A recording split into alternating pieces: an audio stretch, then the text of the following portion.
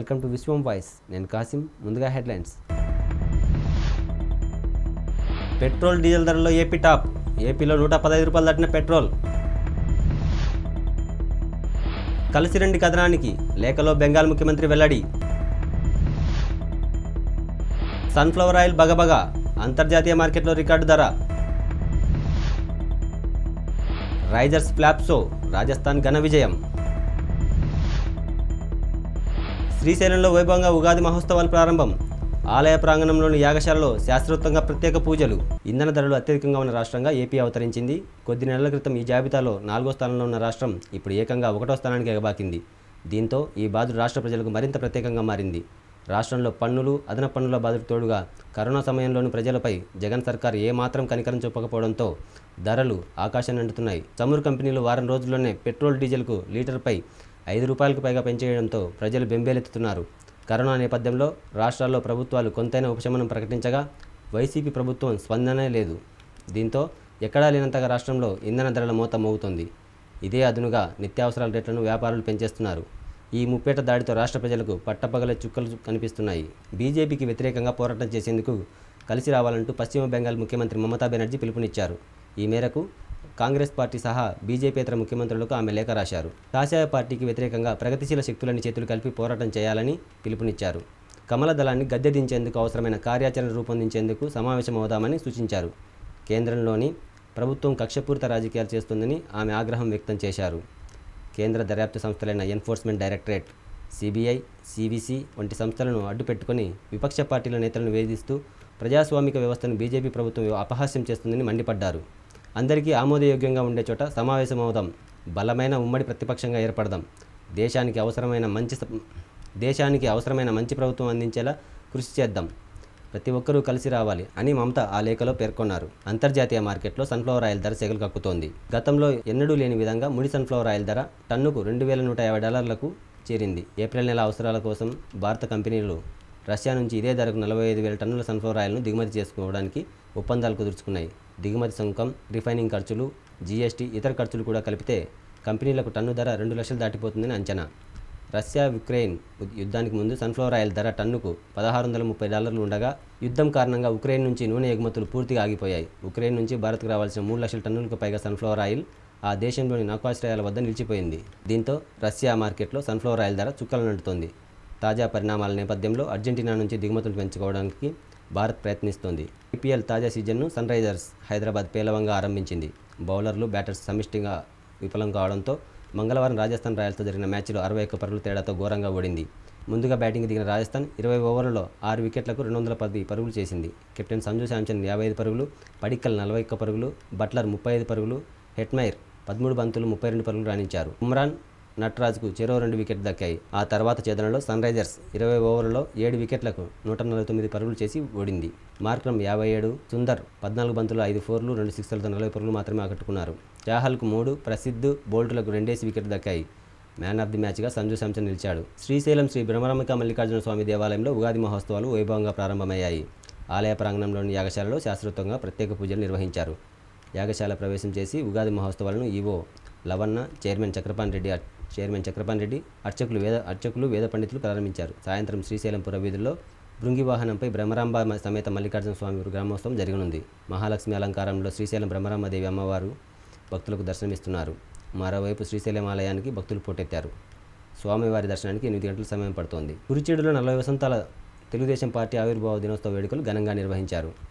కురిచేడులోని పెద్దకాలువ దగ్గర నుండి కురిచేడు సెంటర్ వరకు భారీ ర్యాలీతో టీడీపీ ఇన్ఛార్జ్ పమిడి రమేష్కు టీడీపీ నాయకులు ఘన స్వాగతం పలికారు. కురిచేడు సెంటర్లో కేక్ కట్ చేసి ఏర్పాటు చేసిన జెండాను ఆవిష్కరించి అక్కడి నుండి ట్రాక్టర్ నడుపుకుంటూ పమిడి రమేష్ ఎంపీడీఓ ఆఫీసులోని పార్టీ వ్యవస్థాపకులు స్వర్గీయ నందమూరి తారక రామారావు స్వర్గీయ నందమూరి తారక రామారావు విగ్రహానికి పూలమాలలు వేసి నివాళులు అర్పించారు. తదనంతరం దర్శి టీడీపీ ఇన్ఛార్జ్ పమిడి రమేష్ మాట్లాడుతూ తెలుగుదేశం అంటేనే అభివృద్ధి సంక్షేమమని వ్యాఖ్యానించారు. సంస్కరణల ఫలితాలను గ్రామస్థాయికి అందించిన చరిత్ర టీడీపీదేనని పాలనపై పాలకులకు ప్రశ్నించే తత్వాన్ని ప్రజలకు నేర్పింది తెలుగుదేశమే అన్నారు. అంతేకాకుండా రెండు వేల ఇరవై నాలుగులో తెలుగుదేశం అధికారంలోకి వచ్చే విధంగా కార్యకర్తలు నాయకులు కష్టపడాలని ఈ వైసీపీ ప్రభుత్వాన్ని గద్దెదించే విధంగా అడుగులు వేయాలని అన్నారు.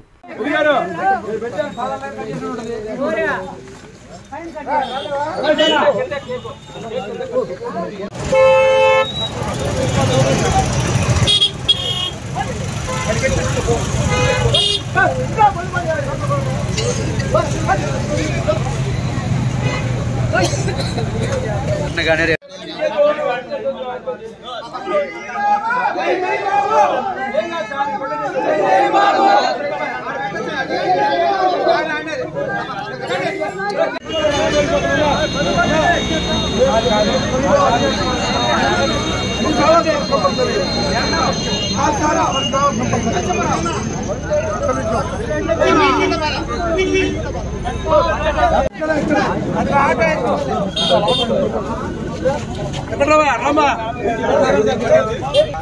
¡Vamos!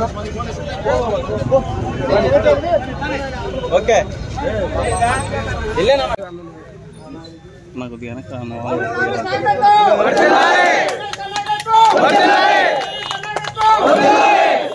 జోహార్ ఎన్టీఆర్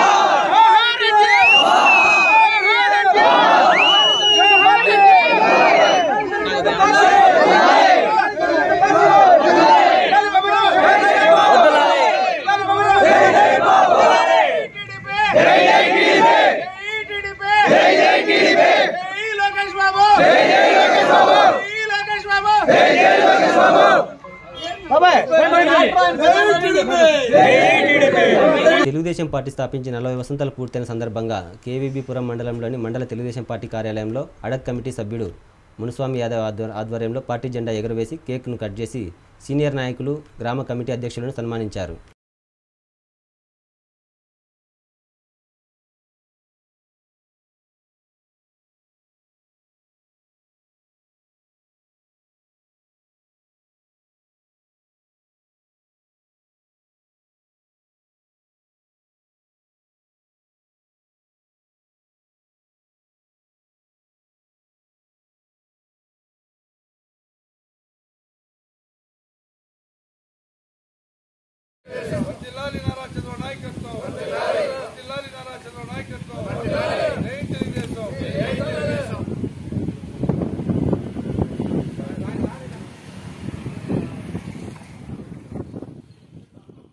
ఓజిలి మండల కేంద్రంలో తెలుగుదేశం పార్టీ నలభైవ ఆవిర్భావ దినోత్సవాన్ని ఘనంగా ఓజిలి టీడీపీ సీనియర్ నాయకులు వల్లూరు సూర్యప్రకాశ్రావు మండల కన్వీనర్ విజయ్ కుమార్ నాయుడు ఓజిలి మండల కార్యదర్శి నిరంజన్ టీడీపీ నాయకులు వరప్రసాద్ పాడి వెంకట సుబ్బయ్య ఆధ్వర్యంలో అత్యంత ఘనంగా నిర్వహించారు. మండల నాయకులు యువత మహిళలు గ్రామ ప్రజలు తెలుగుదేశం పార్టీ కార్యకర్తలు పెద్ద సంఖ్యలో పాల్గొని తెలుగుదేశం పార్టీ వ్యవస్థాప అధ్యక్షులు విశ్వవిఖ్యాత నట సార్వభౌముడు నందమూరి తారక రామారావు చిత్రపటానికి ఘన నివాళులు అర్పించారు అనంతరం తెలుగుదేశం పార్టీ జెండాను ఆవిష్కరించి కేక్ కట్ చేసి మిఠాయిలు పంచుకున్నారు. ఎన్టీఆర్ అమర్ రహే చంద్రబాబు నాయకత్వం వర్దిల్లాలి అంటూ నినాదాలు పలికారు. రాబోయే ఎన్నికల్లో చంద్రబాబును ముఖ్యమంత్రిగా చేసుకోవాల్సిన అవసరం ఉన్- ఆసన్నమైందని రాష్ట్ర ప్రజలను అష్టకష్టాలు చేస్తున్న వైసీపీ ప్రభుత్వానికి చర్మగీతం పాడాలని పిలుపునిచ్చారు.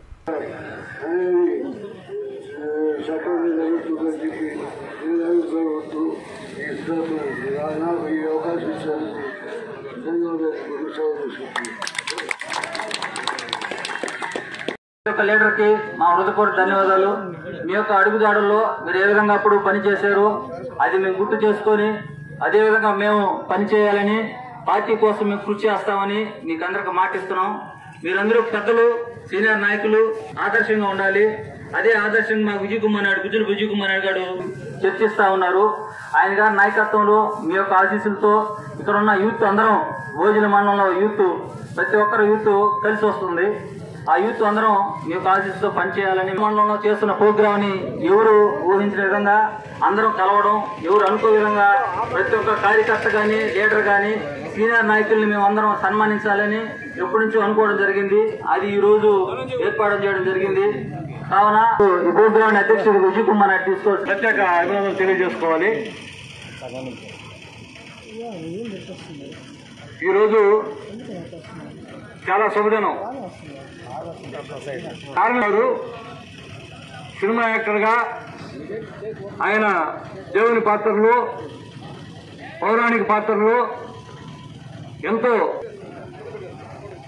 తెలుగు ప్రజల గుండెల్లో ఆయన చెరగని ముద్ర వేసుకుని ఒక దేవుడిగా ఆరాధింపబడుతూ ఆయన ఉద్దేశంతో పంతొమ్మిది వందల ఎనభై రెండు మార్చి ఇరవై తొమ్మిదో తేదీన ఆయన తెలుగుదేశం పార్టీని స్థాపించడం జరిగింది.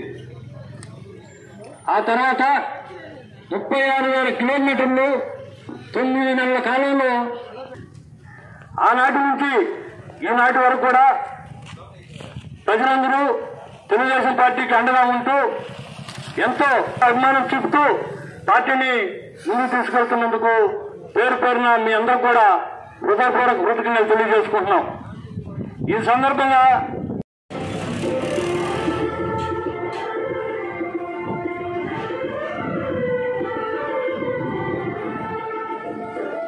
పొంగిన ఆవేశమా? స్వర్ణాంధను నిర్మించగా సాగే ప్రస్థానమా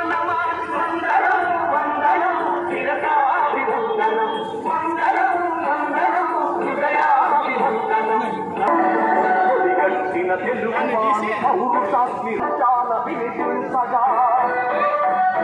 నీ చేతిలో కీలు బొమ్మలకు సవాలుగా పుల్లు రాజకీయ పదవి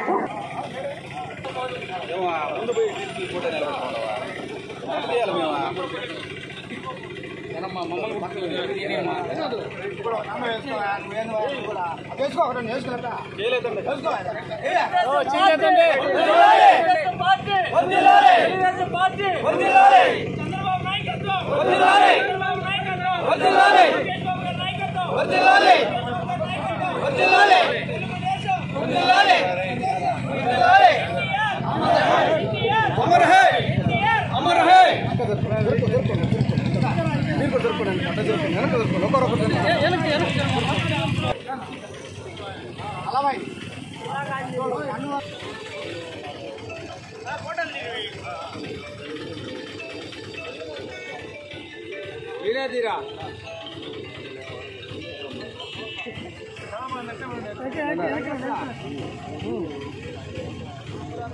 చెప్పమా బస్టాండ్లో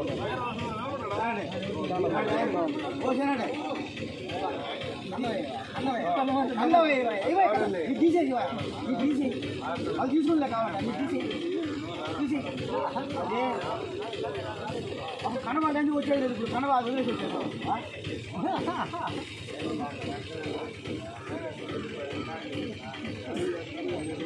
ఆ ముడి దూసి ముడి కూడా కట్ట కక్కనే వేస్తుంది ఆ ముడి పట్టేసేది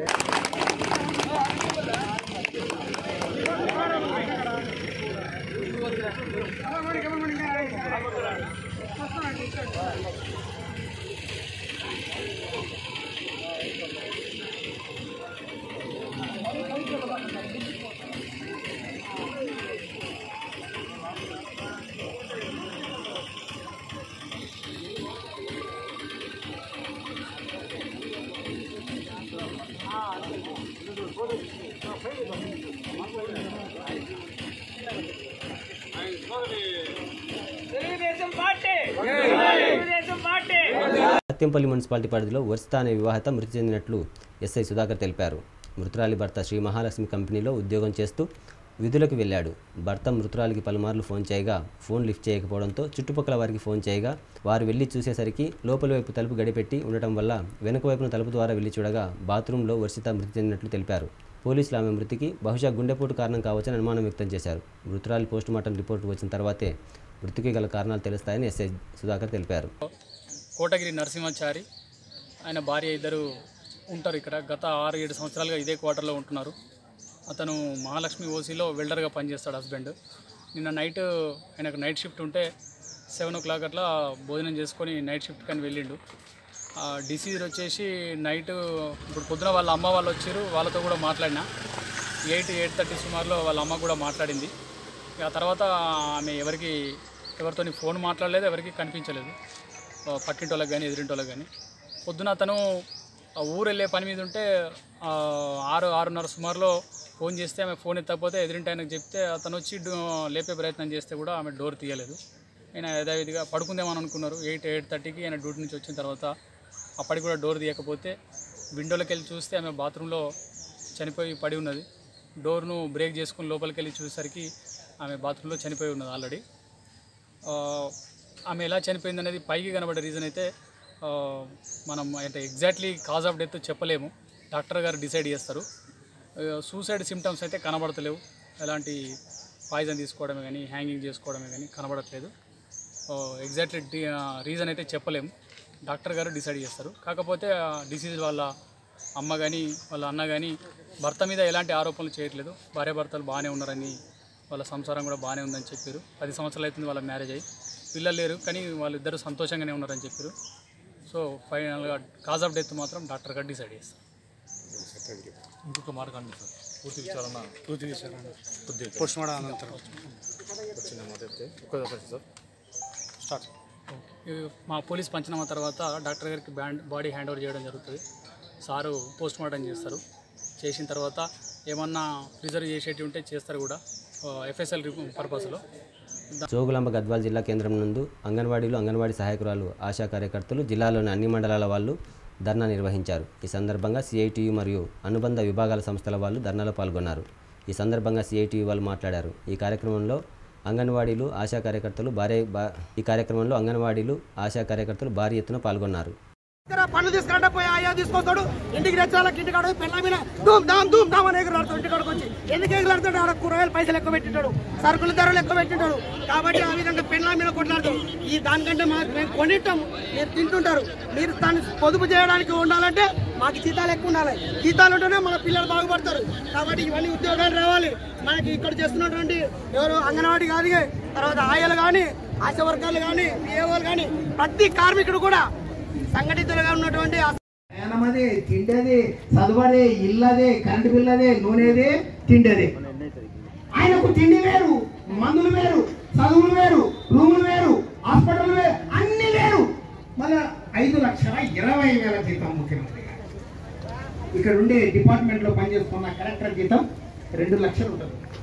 రెండు లక్షల మీద ముప్పై శాతం ఫిట్మెంట్. ఈయన మూ- పదివేల మీద ముప్పై శాతం ఇచ్చి మనం మేమేదో పెద్దగా ఇచ్చినామంటే అది అన్యాయము. ఇవ్వని వాళ్ళు కూడా ఉన్నారు గ్రామ పంచాయతీలో ఎనిమిది వేల ఐదు వందలు ఇచ్చి ఇంటి చాకరీ చేయించుకుంటున్నారు. ఇది అన్యాయం అని రోడ్డు మీదకి వచ్చినాం. కనీసం కనీసం ఒక మనిషి బతకాలంటే ఒక కార్మికుడు బతకాలంటే ఇరవై ఆరు వేలు ఉండాలి. మీకు అనిపిస్తుంది ఇరవై ఆరు వేలు యాడికెళ్ళి తెచ్చిస్తారబ్బా డబ్బు ఉందా లేదా అనుకుంటారు.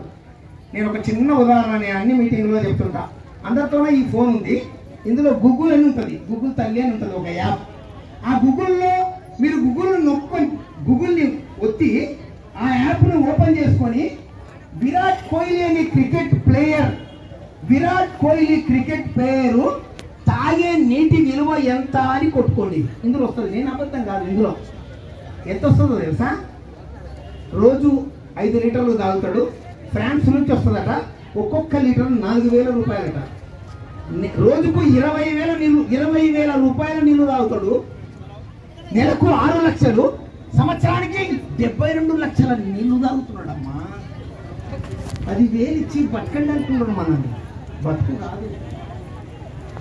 ఐదు వేలు ఆరు వేలు పదివేలు బీజేపీ టీఆర్ఎస్ రెండు పార్టీలు కలిసి సింగరేణి బొగ్గు గనులు సర్వనాశనం చేశాయని ఏఐటీయూసీ ప్రధాన కార్యదర్శి వాసిరెడ్డి సీతారామయ్య విమర్శించారు. టీబీజీకే యూనియన్ నాయకులు సింగరేణిలో సమ్మె జరగకుండా బీజేపీతో చికటి ఒప్పందం చేసుకున్నారని విమర్శించారు. టీబీజీకే నాయకులు ఎక్కడ కానీ సమ్మెకు సంబంధించిన వాల్ పోస్టర్లు విడుదల చేయలేదు. దీన్ని బట్టి అర్థమవుతోంది. వాళ్ళు సింగరేణిపై కపట ప్రేమ కొంతమంది టీజీబీకే నాయకులు పనిగట్టుకొని సమ్మెను విఫలం చేయాలని ప్రయత్నిస్తున్నారు.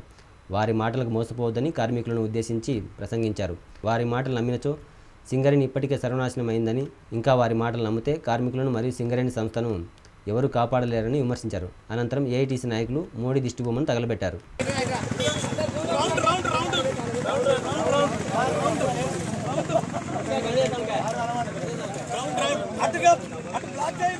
అటు సైడ్ పోవాలి అటు సైడ్ పోవాలి మీరు.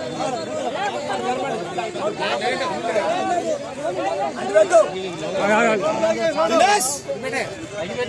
ఏ దినేష్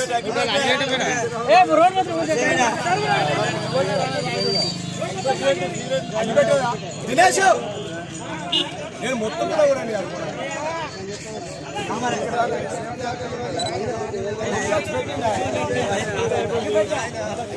నేను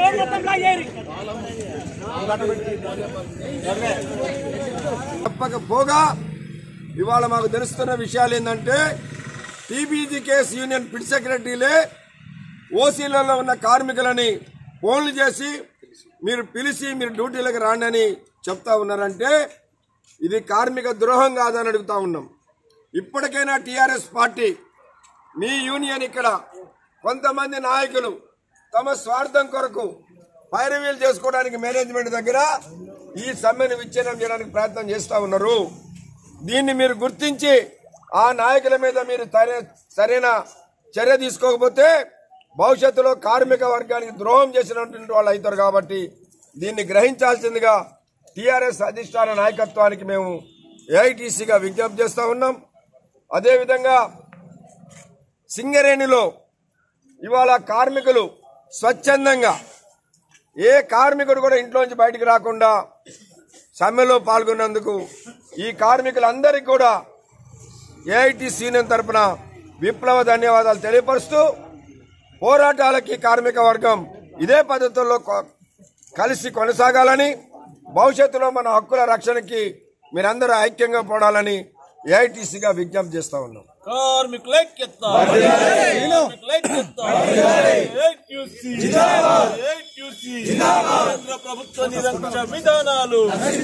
నరేంద్ర మోడీ నాయకత్వంలోని బీజేపీ ప్రభుత్వం ఈ దేశంలో ఉన్నటువంటి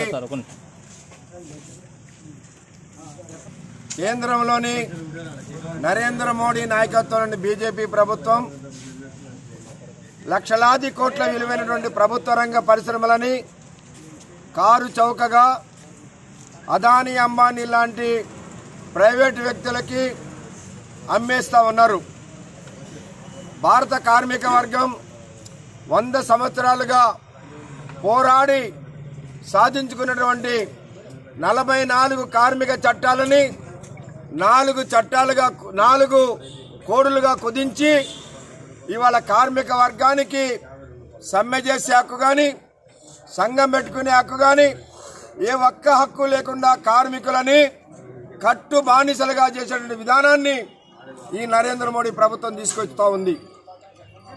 దేశంలో నిత్యావసర వస్తువుల ధరలు ఆకాశాన్ని అంటిని పెట్రోల్ డీజిల్ ధరలు ఆకాశాన్ని అంటిని ఆయిల్ ధరలు కానీ ఉప్పు పప్పుల ధరలు కానీ అన్నీ కూడా విపరీతంగా పెరిగిపోయినాయి. ఇంకో పక్కన వ్యవసాయాన్ని కూడా కార్పొరేటీకరణ చేయడానికి దుష్ట తలంపు చేస్తూ ఉన్నారు. వీటన్నిటికీ వ్యతిరేకంగా భారతదేశంలో ఉన్నటువంటి అన్ని కార్మిక సంఘాలు ఈ సమ్మెకి రెండు రోజులు పిలిపించడం జరిగింది. దీనికి అన్ని రాజకీయ పార్టీలు కూడా మద్దతు ఇస్తూ ఉన్నాయి. ఈ దేశంలో ఒక బీజేపీ బిఎంఎస్ మినహా అందరూ కూడా ఈ యొక్క సమ్మెని జయప్రదం చేయడానికి తోడ్పడతా ఉన్నారు. బీజేపీ బిఎంఎస్ రెండు కూడా ఆర్ఎస్ఎస్ అనుబంధ సంఘాలు. ఆర్ఎస్ఎస్ సిద్ధాంతమే ప్రైవేటీకరణ. కాబట్టి ఇవన్నీ కూడా ప్రైవేటీకరణ చేస్తూ ఉన్నారు. ఇవాళ బొగ్గు బ్లాకులని సింగరేణి సంబంధించిన నాలుగు బ్లాకులని ప్రైవేటు వాళ్ళకి ఇవ్వడానికి టెండర్లు పిలిచారు. సింగరేణిలో కాంట్రాక్టీకరణను వేగవంతం చేస్తూ ఉన్నారు. సింగరేణి కోట్లాది రూపాయలని ప్రభుత్వాలు దోపిడీ చేస్తూ ఉన్నాయి. వీటన్నిటికీ వ్యతిరేకంగానే ఈ సమ్మె జరుగుతూ ఉంది. అయితే సింగరేణిలో ఇవాళ ఈ రాష్ట్రంలో టిఆర్ఎస్ ప్రభుత్వం కూడా బీజేపీ చేస్తున్న దుర్మార్గమైన చర్యలకు వ్యతిరేకంగా సమ్మె చేయాలని పిలిపించారు. కానీ ఆ టీఆర్ఎస్ అనుబంధ సంఘంగా ఉన్న టీబీజీ కేసు మాత్రం సింగరేణిలో సమ్మెకు మద్దతు అన్నారు తప్ప ఎక్కడ కూడా ఒక కరపత్రం వేయలేదు ఒక వాల్ పోస్టర్ వేయలేదు ఒక బావి మీద పోయి కార్మికుడికి కూడా చెప్పలేదు. ఇవి బులెటిన్ విశేషాలు. చూస్తూనే ఉండండి.